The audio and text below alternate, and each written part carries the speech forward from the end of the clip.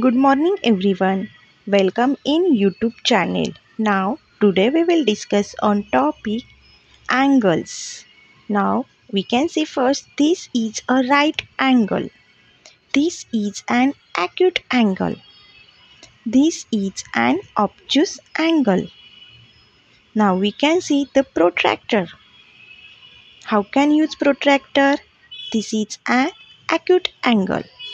Measure of angle PQR is 90 degree. Measure of angle LMN is 50 degree. Measure of angle XYZ is 105 degree. Measure of angle RST is 55 degree. Now we can see definition of angles. Right angle. Acute angle below than 90 degree. Obtuse angle above than 90 degree. Now we can see vertex O, arm AO and OB. XO is a arm, OY is a arm and O is a angle. Acute angle